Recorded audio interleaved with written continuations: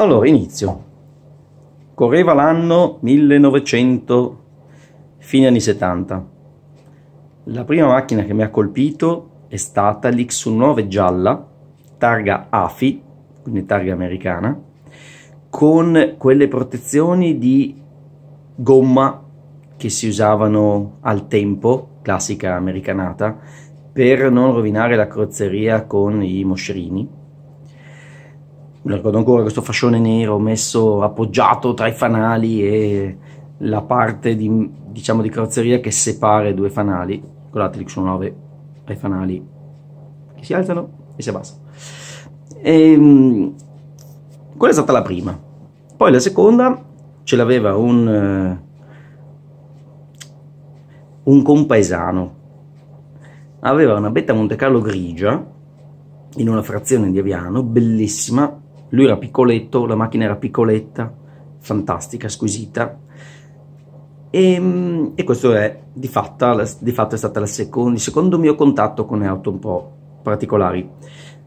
La terza, poi come per magia saranno le prime due e questa che racconto la terza auto che ho a tutti gli effetti acquistato. La terza nasce da una storia un po' diversa. Allora, mio padre aveva un amico che era concessionario Renault mai avuto una Renault in famiglia, noi abbiamo sempre avuto Opel di fondo, quindi Opel Record, l'Opel Ascona, ma tutte Opel, Opel Corsa.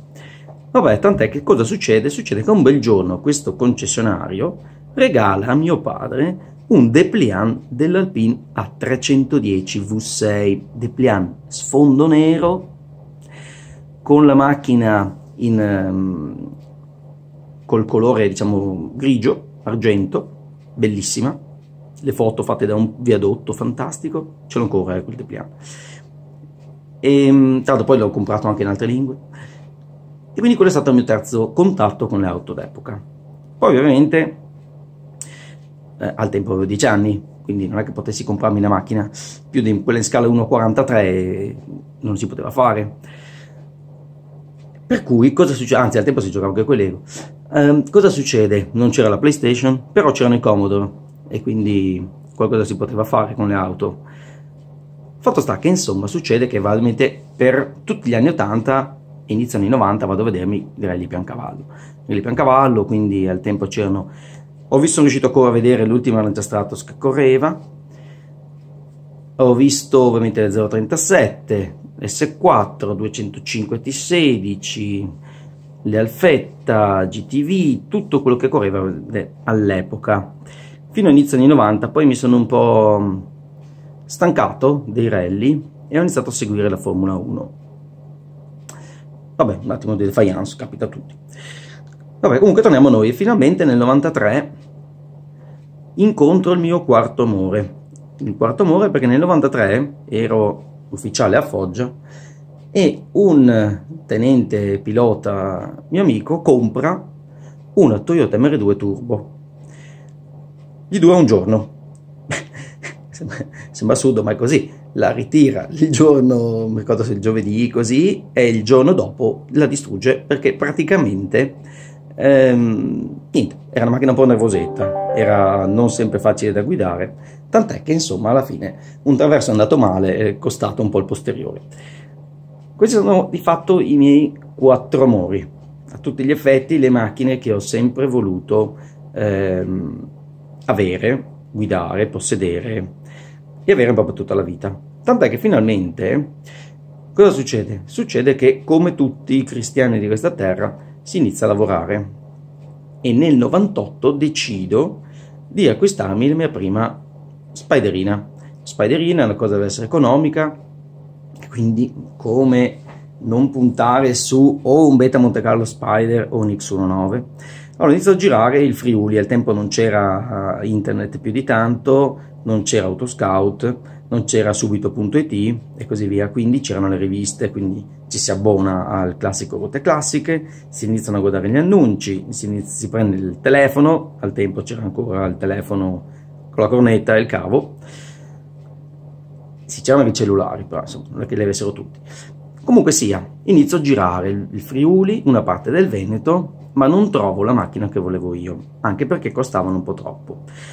Poi come per magia parla con un amico, parla con quell'altro, scopro che a 5 km da casa c'era un X19 in un tristissimo garage sotterraneo, ferma lì da qualche anno, vado a vederla e la compro.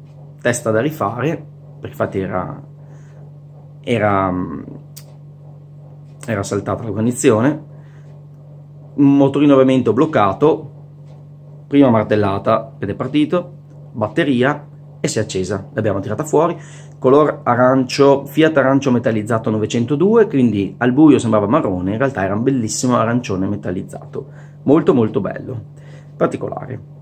Vernice originale, aveva già avuto quattro proprietari, era un eh, PRA 301280, sul libretto era riportato 81, al che inizio a chiamare i proprietari precedenti, mi faccio raccontare un po' la storia, me ne innamoro, decido anche di andarmene in vacanza l'anno successivo dopo aver rifatto la testa con un amico, ehm, di andarmene in vacanza in Croazia e ne sono ben felice. Però a quel punto dico, beh, se c'è un X19 vuoi non prendere anche una Beta Monte Carlo e metterle vicine vicine? E così acquisto fine 99, il giorno del mio compleanno, mentre l'X9 l'ho presa a giugno del 98. Monte Carlo l'ho presa il 20 dicembre del 99, bianca in fase di restauro. Anche questa dove? Nel mio paese. Ovviamente uno gira tanto, gira tanto poi le cose le ha sotto il naso. Insomma, gira rigira, cosa trovo? Trovo un Beta Monte Carlo bianco, colore Fiat, no, Lancia, scusate, 222, 222, in fase di restauro, per cui termino il restauro, la carrozzeria, dopodiché me la porto a casa e la notte con mio padre in garage piano piano l'abbiamo rimontata tutto quindi si lavorava di giorno la sera si mangiava e poi dove si andava? si andava in garage come hanno fatto tanti. Si stava lì fino a mezzanotte l'una, le due anche dopo. Però il concetto era preparare la macchina. Per cui succede che dopo buon anno. Eh, la macchina è pronta. E così a casa finalmente ho X9 Beta Monte Carlo. Nel frattempo eh, succede che cambio lavoro, mi sposto da Aviano vengo, e vado verso Vicenza, quindi le macchine non posso più usarle. E, ehm, e quindi decido nel 2002 eh, di, decido, sono un po' costretto a dire il vero, abbandonare il Beta Monte Carlo che do ad un, un amico americano che, con cui ci sentiamo ancora e ho visto anche l'estate scorsa, la porto in California, quindi la mia prima macchina restaurata da, praticamente da zero se n'è andata in California ed è ancora là. Lui poi ci monta i cerchi da 18 perché loro possono, noi abbiamo i 13, tristi. Ehm, poi succede un periodo molto brutto, l'anno 2002, lo mettiamo un po' da parte nella testa, nel cuore c'è ancora, e succede che decido di cambiare tutto, cambiare vita. E quindi se ne va l'X19, tranquilli, tanto poi dopo un anno e mezzo l'ho ricomprata, la, proprio la stessa, sono andato a riprendermela a Torino dall'amico Gian Pietro. E, e, cosa succede? Succede che la prendo, cioè anzi la vendo e prendo un Alpine A310 V6, rossa, ferma da 12 anni, a Brescia, importata in Italia nel 90 e mm, l'ha fatto subito Asi, in modo da avere ovviamente passaggi e bolli, tutte quelle cose lì agevolate, perché al tempo si ragionava così, non si dava tanto valore al mezzo quando si cercava di risparmiare soldi, ma forse ancora così. Eh, vabbè, eh, faccio la seduta Asi, dal mio solito amico rifacciamo alcuni lavoretti perché puntualmente appunto era ferma da 12 anni, eh, però di fatto più la pompa benzina, pompa acqua, le solite cose, i freni, il motore andava benissimo e decido con lei di andarmene una settimana in Corsica. Io e la mia macchina, una settimana bellissima, fantastica.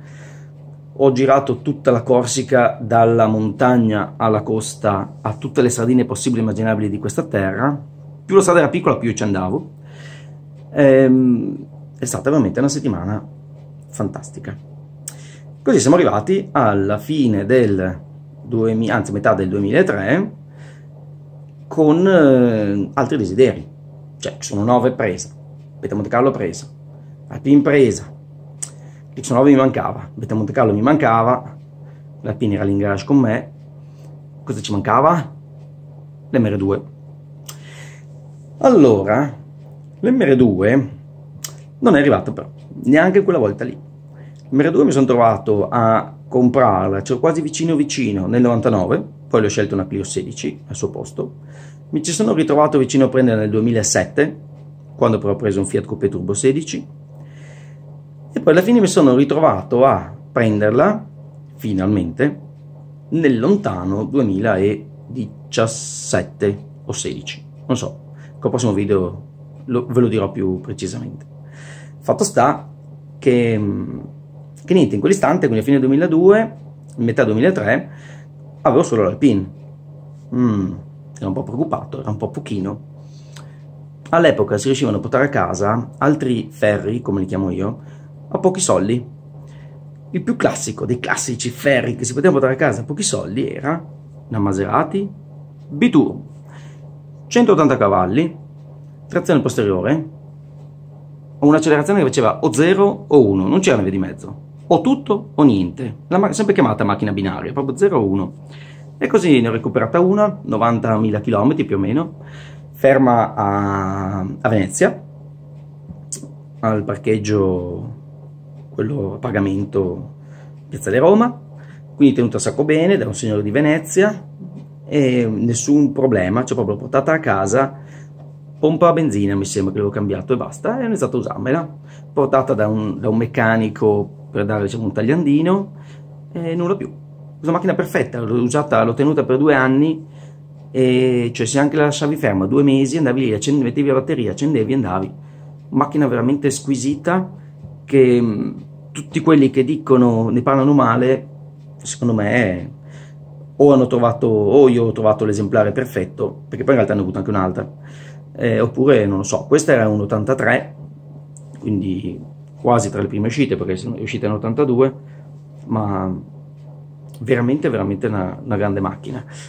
È logico che aveva la guidabilità di un camion, cioè sceso da un X19, da un Beta Monte Carlo non è granché, ma soprattutto da un Alpine eh, salire su una Maserati biturbo che sì, ti dà una botta sulla schiena, ma tutto il resto è... non è così preciso. Parliamo sempre di macchine stradali, eh? quindi non preparate, ammortizzatori, scarichi, niente, stradale. È un po' quello che è. Sicuramente delle quattro l'X19 è molto meglio di tutte, sia come bilanciamento, come reattività della macchina, come guidabilità. Le mancano quei 30-40 cavalli, cioè senza che avendo 85 ne avesse 125-130 sarebbe un'altra cosa, un bel autobloccante, però vabbè, insomma, questo è un altro discorso. Ecco, quindi insomma siamo arrivati all'83 con l'arrivo di una bellissima Maserati biturbo. Adesso mi fermo perché nel video devo aggiungerci le foto. Cioè, vi ho parlato dell'X9 arancio, non ve l'ho fatta vedere. Vi ho parlato del Monte Carlo bianco, non ve l'ho fatta vedere. Vi ho parlato dell'Alpine Renault, ah era rossa, non ve l'ho detto anche se in origine era grigia, l'avevano pitturata di rosso in Germania e non ve l'ho fatta vedere. Adesso vi parlo del Maserati Biturbo e ancora non vi faccio delle foto. E mi direte, ma Eddie, allora andiamo avanti. Quindi, step 3, eh, arriveranno le foto. Ciao a tutti.